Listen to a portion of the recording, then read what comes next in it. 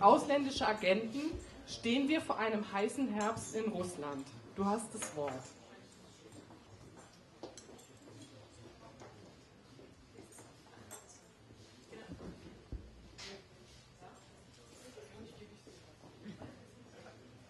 So. Genau, dieses Statement wollte ich einfach mal abgeben, weil ich dazu bis jetzt noch nie die Chance gehabt habe. Dieses meine ich. Ähm, und jetzt ja eigentlich Florian bei der Einführung gesagt, äh, es habe sich jede und jeder ein Thema ausgewählt für diesen Abend und bei mir stehen schon im Titel drei. Ähm, und ich glaube, dass ich äh, möglicherweise es nicht schaffen werde, über die alle in diesen 20 Minuten zu reden. Äh, beziehungsweise könnte ich einfach irgendwo anfangen und irgendwo aufhören, denn mir stellt sich die Sache derzeit so dar wie ein Bild, an dem man ganz nahe dran steht. Diesen Vergleich hatten wir während dieser Klausur schon mal. Ähm, und ich kann also keine abschließende, eingrenzende oder irgendwie, naja, vielleicht ein bisschen nützliche, schon, aber keine, keine abschließende Analyse oder sowas abgeben. Ähm, und da ich selber nicht weiß, wie die Interessenlage so ist, was am meisten interessiert und ähm, worüber Sie und ihr schon am besten Bescheid wisst aus diesen drei äh, Stichworten, würde ich doch einfach kurz darum bitten, ein Signal zu geben, wer sich wofür am meisten interessiert und dann würde ich einfach dort anfangen. Ähm, ausländische Agenten. Ausländische Agenten? Ähm, ausländische Agenten was hat es äh, damit auf sich? Es wurden in, der Letz-, in den letzten Tagen ähm, vor der Sommerpause in der Duma verschiedene Gesetze angenommen. Ähm, in einem Schnelldurchlauf, in einem eigentlich quasi ungesehenen Schnelldurchlauf für die letzten Jahre. Ähm, und eins davon besagt, dass ausländische Organisationen, die a. sich politisch betätigen und B, nein, nicht ausländische Organisationen, eben nicht, sondern, sondern jede Art von Nichtregierungsorganisationen, die sich A politisch betätigen und B Gelder aus dem Ausland erhalten, sich ähm, ausländische Agenten zu nennen haben.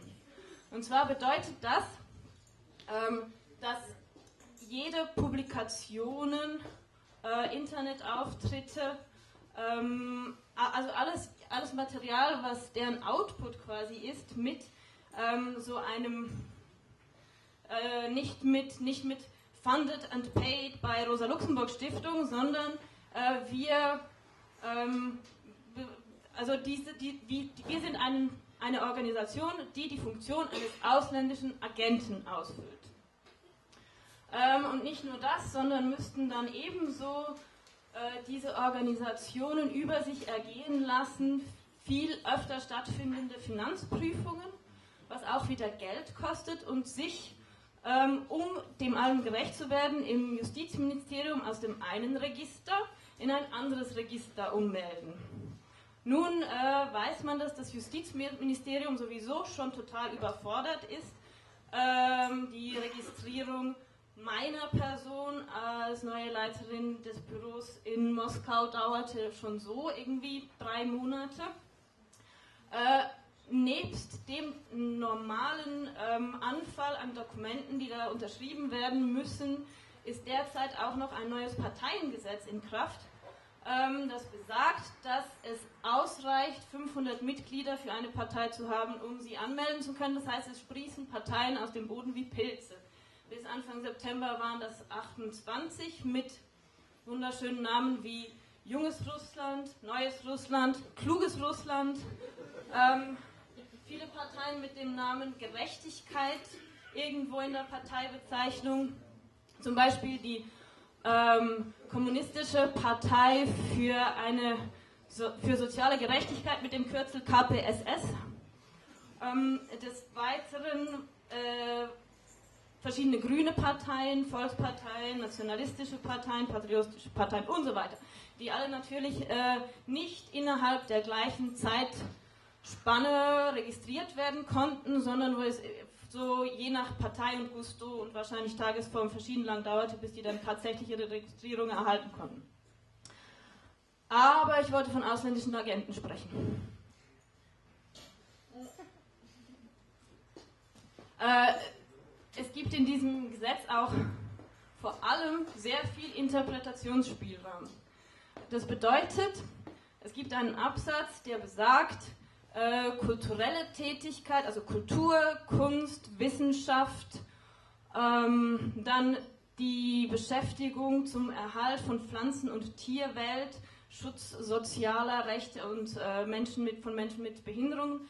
Äh, also es werden so verschiedene Abgrenzungen gemacht, die aus diesem, aus diesem weiten Feld politische Tätigkeiten dann wieder ausgenommen werden. Jetzt, äh, wie, wer stellt das fest und wie wird das definiert? Man weiß es noch nicht. Das äh, Gesetz wird in Kraft treten zu Ende November und diese Nichtregierungsorganisationen, die fürchten, davon betroffen zu werden, haben verschiedene Strategien, äh, von denen sie reden, um damit umzugehen. Zum Beispiel ähm, die Ausgründung kommerzieller Firmen, auf, äh, unter deren äh, Mantel dann diese weiteren nicht, also nicht kommerziellen Tätigkeiten laufen können. Ähm, so etwas ähnliches hat, glaube ich, das, wenn ich mich jetzt nicht irre, das Helsinki-Komitee ähm, angekündigt. Andererseits gibt es aber auch die Strategie Boykott und dann ähm, die ersten, die es treffen wird, würden sich zuerst ans Verfassungsgericht wenden und wenn, da, wenn das dann nicht klappt, ans an den Europäischen Gerichtshof mit der Begründung, dieses Gesetz sei eigentlich ähm, rechtswidrig quasi. Und nun die Meldungen aus ähm, Regierungs- und Machtkreisen sind die, der Dialog oder die Diskussion zu diesem Gesetz, das lief alles eigentlich schon vorher. Äh, und jetzt ist die Zeitspanne abgeschlossen, innerhalb derer man darauf reagieren kann oder sich dazu äußern. Äh, das ist natürlich ein Witz, weil das alles so wahnsinnig schnell durchgelaufen ist. Es wurden schon verschiedene Gremien wie Menschenrechtsrat und so weiter mit einberufen, um zu diesem Gesetz, äh, Gesetzesentwurf damals noch eine Position abzugeben. Äh, aber es ist natürlich schon eine Farce, das jetzt zu behaupten. Ähm, und ähm, man weiß nicht, was passieren wird. Also man weiß nicht, wie streng das tatsächlich angewandt werden wird, wer davon betroffen sein wird. Die Vermutung ist, es geht vor allem um so amerikanische NGOs. Unter anderem hat, wurde übrigens USAID oder USAID kürzlich aufgefordert, die Tätigkeit in Russland einzustellen. Ähm, ja, wir wissen es nicht. Wir werden es dann erfahren langsam, wenn dieses Gesetz tatsächlich in Kraft tritt und, und sehen, wie auch die, die Organisationen, mit denen wir zusammenarbeiten und die ja von, äh, von uns Geld auf ihre Konten kriegen für Projekte, äh, wie die damit umgehen werden. Derzeit herrscht eine gewisse Zurückhaltung, Unklarheit und, und Befürchtungen in diesem, äh, in, in diesem Spektrum auch. Ähm, wo waren dann ich würde jetzt an diesem Punkt übergehen zum nächsten Gesetz, nämlich äh, der Veränderung in der Strafgesetzgebung. Der ähm, Tatbestand des, des, ähm, der Verleumdung wurde wieder in das Strafgesetzbuch zurückgeholt, was erst letzten Dezember ähm, noch unter Medvedev quasi äh, rückgängig gemacht worden war. Das heißt, Ver Verleumdung ist jetzt wieder ein äh, Strafbestand, für den auch große ähm, Geldstrafen gesprochen werden können. Das wird gedeutet als eigentlich Zensurgesetz. Äh, und unter das, also mit einer gewissen Beliebigkeit anzuwenden. Ähm, dann das letzte in diese, also es gab noch einen Haufen andere äh, in die restriktive Sparte einzuordnende Gesetze, die beschlossen wurden, auf die ich jetzt wahrscheinlich besser nicht eingehen werde, sondern ich habe da eigentlich so eine Bilder.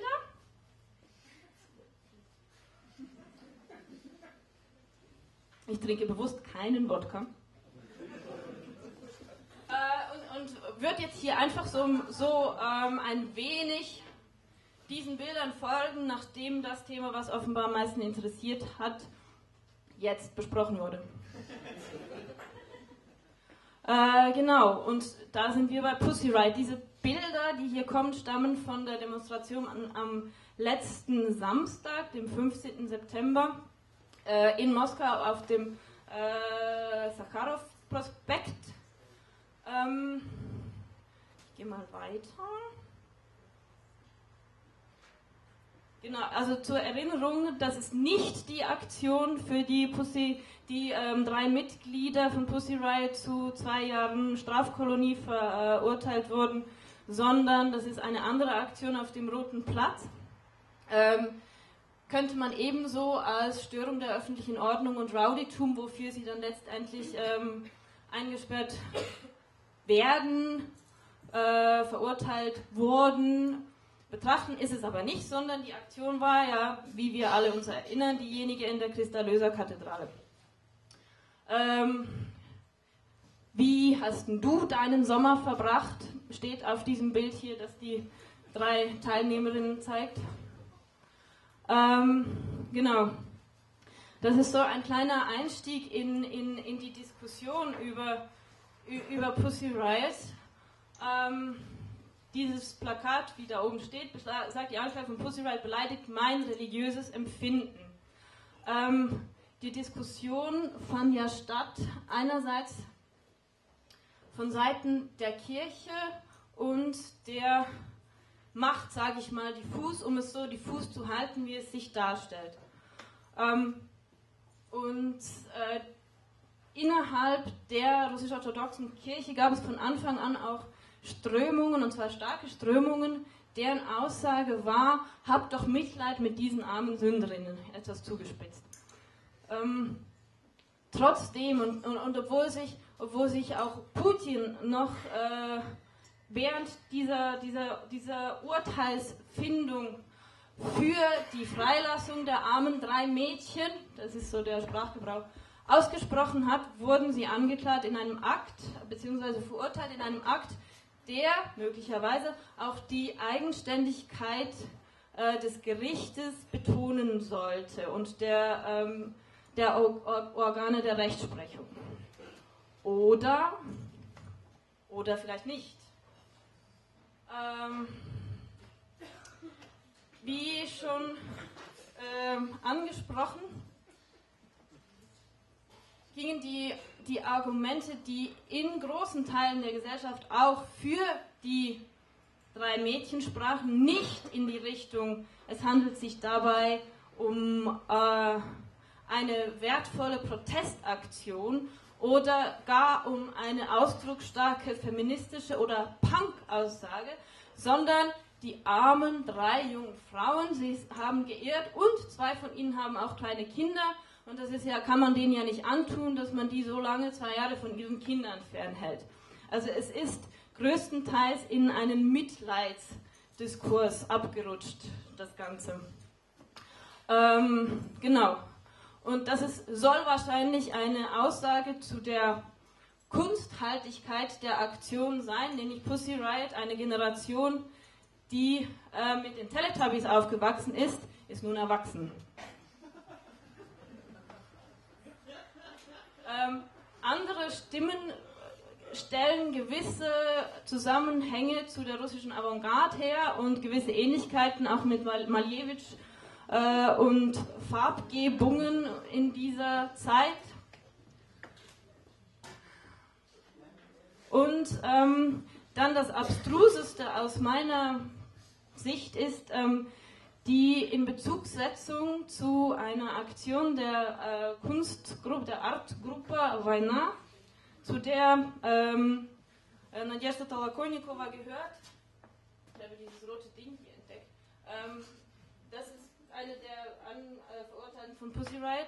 Äh, und diese Aktion wurde 2008 in einer, einem äh, Moskauer Supermarkt durchgeführt und wird Ihnen jetzt ausgelegt als ähm, Migranten, Schwulen und judenfeindlich.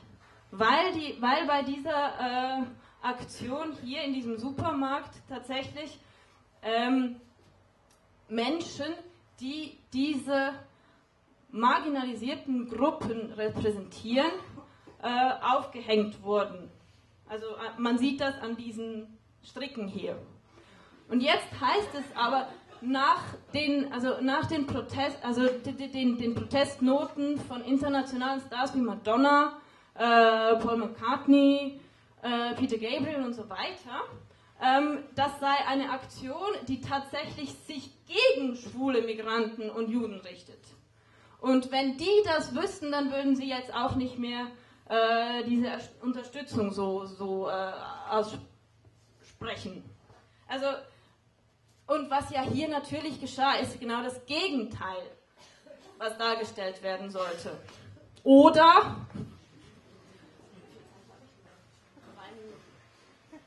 Gut, dann überspringe ich das jetzt mal und das auch und das auch. Äh, genau, also das, das war jetzt äh, letzten Samstag. Ähm, hier kurz ein paar Impressionen dazu, was da alles für Gruppen dabei sind in, diesen Op äh, in dieser Opposition. Genau, das war nämlich die. Na, äh, was war das letzten Samstag? Das war diese ähm, ungeduldig erwartete erste Protestaktion nach der Sommerpause. Ähm,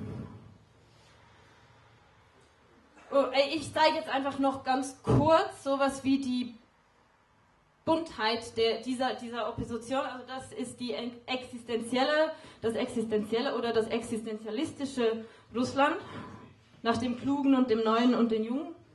Ähm, hier, äh, das ist eine ähm, kleine Gewerkschaft, eine Lehrergewerkschaft, Lehrerinnengewerkschaft. Das sind Anarchisten, Anarchosyndikalisten. Hier haben wir die Vereinigung der Werktätigen Moskaus, die inmitten dieser Kundgebung eine kleine eigene Kundgebung organisiert hatten. Und da auch, also ganz abgesehen davon, was eigentlich lief auf der Hauptbühne, ihre eigenen Reden schwangen, aber trotzdem innerhalb dieses Systems, wenn zum Beispiel die KPRF, äh, die Kommunistische Partei Russlands, eine äh, am Anfang stand und Flyer verteilte für eine eigene Veranstaltung am 22. September. Ähm, na, hier eine kleine Zusammenstellung von Flyers, die man sich da abholen konnte. Am besten gefällt mir dieser hier. Man kann sich denken, von wem der ist. Äh, genau, das ist äh, Gennady Gutkov, dem das Duma-Mandat letzte Woche entzogen wurde, aber darauf gehe ich jetzt nicht weiter ein. Kann man mich auf der Bank fragen.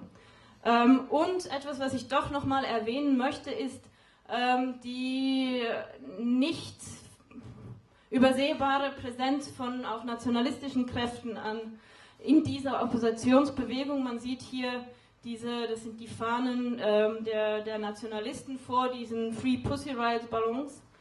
Ähm, hier, das ist, wie heißt Alexander Bielov, der sehr wirkungsvoll mit einem Kind auf dem Arm eine sehr populistische Rede schwang, an, dessen, an deren Ende stand ähm, Rodina Lismert, Heimatland oder Tod, was sehr nahe an der Losung der sogenannten Chorugvenoszen ist, äh, eine orthodox-nationalistische Bewegung, die so aussieht. Und deren Losung ist Orthodoxie oder Tod. Was dann wieder nahe dran ist an der Losung der Chetniks ähm, Freiheit oder Tod. Ähm, genau, und die machen solche Aktionen, nämlich zum Beispiel das Fehlen von Bildern von Schwulen. Oder das Zerreißen von Bildern von Madonna. Ähm, zu Gary Kasparov sage ich jetzt nichts. Und den, genau, vielleicht noch, ich lasse mal ganz kurz noch diese Bilder durch und schweige dazu und alles weitere auf der Bank. Nee, dazu sage ich doch noch was. Das, das, war, eine, ähm, das war eine Band dieser äh, Polizeieinheit, mobile Einheit, besonders, also Hormon, die sind dem Innenministerium unterordnet im Gegensatz zu anderen äh, Polizeieinheiten und die traten also da auf, auf dieser Demo und sangen ein Lied, Amon für das russische Volk, wir sind bei euch. Ups. Genau. Hier sieht, sieht man das. Äh, das ist ein Vertreter der Occupy-Bewegung, der äh, etwas doch formuliert hat, was vor ihm niemand formuliert hat, nämlich wir, also aktiven, aktiven friedlichen Widerstand zu leisten, bedeutet etwas zu verändern. Und äh, hier komme ich eigentlich zum Hauptanführer der, des ähm, zeitgenössisch links, sage ich mal, gerichteten Oppositionsflügels Ryuzov, den man hier nochmal besser sieht ähm, und für den es jetzt auch nicht mehr reicht. Äh, jedenfalls hat diese Protestaktion äh, oder Demo letzten Samstag dazu geführt, dass sogar die ähm, sehr oppositionsfreundliche Zeitung Novaya Gazeta schreibt Goodbye Occupy. Und das lasse ich so stehen.